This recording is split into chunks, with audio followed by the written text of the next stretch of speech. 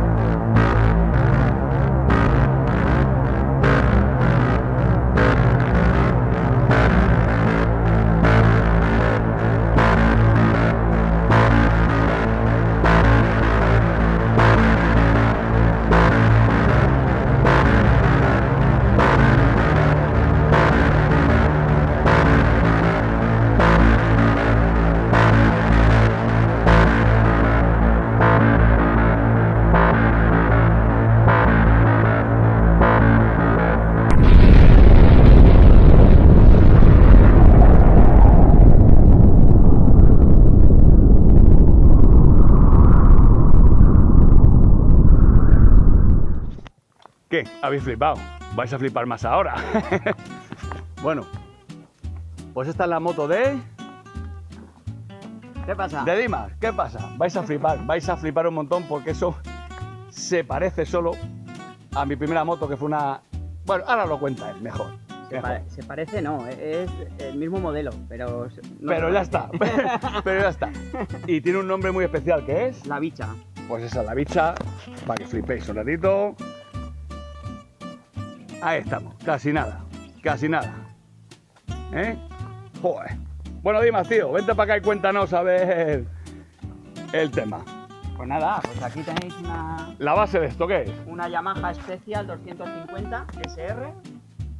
Y bueno, pues tiene todas las piezas de la Yamaha, pero puestas en otro. Sí, de otra hecho, forma. un poco, un poco Ser. moto zombie, ¿no? Ahí. El manillar, el, bueno, el guardabarros es el original, pero cortado y levantado. Si es el que era cromado que yo tenía, claro, para que iba, iba abajo. Sí. Eh, el manillar, que te lleva un semicuelgamonos, ahora uno de motocross, con la barra que lleva el motocross se la cambió por una cadena. Que le has dado el tratamiento ahora que nos contarás, ¿no? Un Sí, poquito. le he dado ahí un El asiento ahí manufacturado el total. asiento, venía con un asiento muy anchote y muy Sí, el- tal. el suyo original, sí. rebajé y, y le puse esto forrado como debe de ser. Como debe ser. Las maletas, Las maletitas que están de explosivos, ¿no? sí, de explosivos. Y en el otro lado de balas, ¿no? Hemos dicho. Sí, yo esta moto cuando la he visto en marcha he flipado porque sale como un demonio. ¿Y qué le has hecho al motor, tío? ¿Le has cambiado algo? ¿Le has hecho El algo? motor, sí, lo hemos modificado un poquito. eh, sobre todo carburador, Carburador, ¿no? filtro de aire y sobre todo piñón de ataque y corona. Claro, para que tenga, para que tenga más salida y tenga más men- salida ha perdido un poquito de velocidad punta, pero Sí, sí, sí. que es verdad que llega. O sea, llega de, Sí, muy yo, rápido. yo cuando, cuando la vi que metías primero y salía, salía como un, como un demonio, una, una pasada, tío. Y, y el tema de la máscara, cuéntanos la máscara, a ver. Pues la máscara es original de la Segunda Guerra Mundial de, de rusa. Rusa. Mm. Sí, sí. Es un pasote como queda. Bueno, lógicamente el faro está detrás, claro, por eso veis ahí el rollo, pero es que le da un puntazo total. Esto entiendo que es el filtro original de la máscara, Es ¿no? el filtro original de la máscara, nuevo, o sea, que está sin. Sí, sin se ve. Es el único que no tiene la moto oxidado. Es lo único que no tenemos oxidado, que todo se andará. Sí, sí, los relojes estos lo- son los originales porque la SR 2,5, tanto la especial como la, como la SR normal, digamos, eh, las antiguas, antiguas, esos relojes son negros y luego ya eh, las más modernillas se salieron con esos en crema. La mía lo tenía así. La verdad es que es una moto que usaban mucho los mensajeros en Madrid y tal, y era una moto que era carne de perro, que se dice, aguantaba carros y carretas. Esto era... Y aparte se reparaba bien, todo el mundo decía que se reparaba muy bien porque tenía un cilindro solo y, se- y- y el acceso es una pasada, o sea que ahí llegas a todo perfectamente. ¿Y esas balas qué? Cuéntanos algo de las balas. Pues las balas la vi en, otro, en otra moto del estilo, un poquito Max Max, que he querido darle. Y la vi en otra moto y me llamó la atención y se las, se las puse. Porque la otra opción era quitarle las tapas, como lleva el filtro de potencia, Mm. dejarlo visto, pero me mola más aquí. Ah, coño, si no me había fijado que tenía intermitentes ahí escondidos. Sí, es que tiene ITV. Que tiene ITV, vamos, no me jodas. Y seguro y todo, sí, sí. Sí, sí, os ha pasado la ITV esto. Bueno, cuando veáis el escape, os va a extrañar que pase la ITV, que entiendo que no la ha pasado con ese, ¿o sí? No, no, con ese no la ha pasado. Al loro el escape, que el escape totalmente artesanal, ¿eh? Ahí te lo has currado. Sí, parece, una, parece una serpiente, un poco, ¿eh? Sí, un poco lo que le he querido dar y, y bueno, lo veis. eh, un poco en vasto, en bruto, pero es que era un poco era pues la idea que llevaba. Sí, sí, es que es una mezcla ahí un poco Mad Max y, y- y un poco Alien, ¿no? Con la máscara ahí. Las estriberas aquí para ponerte de pie. Sí, para- Rueda, rueda de tacos, tío, que te has La de puesto ahí. tacos y la de atrás sobredimensionada es más grande, o sea, eh, con- tengo que quitarle el tubo escape y, pa- y la rueda trasera Sí, pues si no, no pasa, para, ¿no? para pasar la ITV. Si no, no pasa.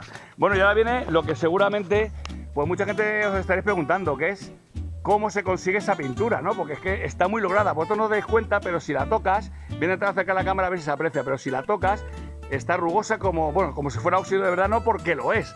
Entonces no sé si se llegará a ver. Así un poco al ras. Y si os fijáis, se queda aquí como óxido. Vamos, ahora Dima nos cuenta un poquito cómo se hace esto. ¿Y quién, quién le contó el secreto de cómo hacerlo? Bueno, pues el secreto me lo contó Iguana Custom, eh, Pepe. Pepe de Iguana, ¿no? Sí. Y, y bueno, que no es otra cosa nada más que agua oxigenada, vinagre y sal. ¿Y cómo se apaña? Eh, se lija completa, ¿Sí? se queda, se deja en, en metal y Se deja de metal pulido, o sea, Sí, en pelado, meta- ¿no? en metal total. Sí, sí, sí. Yo le di con un spray, puedes dar con una brocha también, pero yo le, Sí, en mi caso para decapar y eso, con ¿no? un, Como- con un spray para, para que cayera por todo eh, un spray en la mezcla que te he dicho. Sí. Entonces le, da, le das con el spray, dejas actuar unos... Nada, eh, verás que en cuanto cae el- el- la mezcla, eh, eh, oxida enseguida. O sea que es- o sea no, no tienes que esperar ni nada que oxide, ¿no? Inmediato. Yo esperé un poquito para que se secara sobre todo. Sí, sí, sí. Cuando está seco, pintas, luego lijas donde quieras que esté que el óxido se- se- Salga, digamos, vista, Salga y quitas la pintura. Claro, o sea que pintas- pues, prácticamente le di un poquito con lija todo para que saliera el Claro. óxido y se viera poco la pintura. Claro, digamos que lo que haces es que eh, pintas Exacto, y, encima y- del óxido. encima del, del produ- del producto ese que has liado. Y luego Sí. ya empiezas, digamos que sale Exacto. donde elijas, ¿no? Joder, pues es que el resultado es como si la moto llevara en un almacén con humedad toda la, toda la vida. Los- los- lo que es de metal es fácil, el problema fue esto. Que es plástico, sí, esas tapas es son de plástico, sí, sí, sí. Pero bueno, con un spray de pintura eh, cobre, color cobre, Si le das un poco le di la primera capa, luego le di la verde, dije un poquito la verde y salió un poco el cobre. No es, no queda como el metal, por Sí, claro, supuesto, pero bueno. normal. Me, me- me ha llamado la atención cómo es la moto así, como todo Mac Max y todo el rollo, y al oro los tapones de las ruedas, ¿eh? Rojo ahí que son como granadas, ¿no? Son como granadas, pero sin el como. Sí, pero rojo, rojo chillón que te puede dar algo, Rojo tío. chillón, para que Sí, se vean. sí, joder que sí se ven. A fuego con la luz trasera. Ah, sí, me- la amortiguación, ¿no? La Sí, amortiguación la le hiciste cositas, ¿no? La, la amortiguación sí que está bastante preparada, sobre todo el de atrás.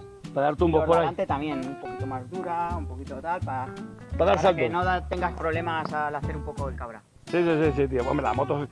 A mí me da nostalgia porque yo fue la, la primera moto que tuve. Mi primera moto fue una SR2,5 especial, negra. Y con esa me solté, con esa fui mensajero, o sea, esa moto. Y eso que la tuve un año por ahí, más o menos, que luego ya pasé a una XS400, pero a mí esa moto me salió. Pues la verdad es que va muy Me bien. salió muy, bien, muy Los buena. tío. kilómetros que le he hecho por monte, por carretera y no da ningún tipo de Estas, problema. estas motos es que son carne, carne de perro, tal, luego esto claro, le da todo el rollo ahí como cuero viejo y tal. Y bueno, y ahora viene, ahora viene lo potente, lo que, lo que queremos, lo que queremos más que ver escuchar. Que es que Dimas, tío, arráncanos esto, a ver cómo suena. Suspense, voy a tener que música de suspense. ¡Hostia, que quedamos mal!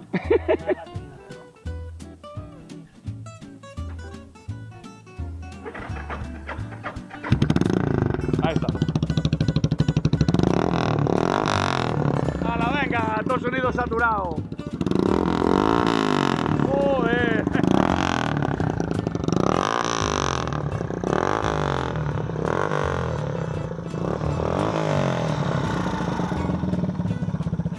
Bueno, pues no te digo nada.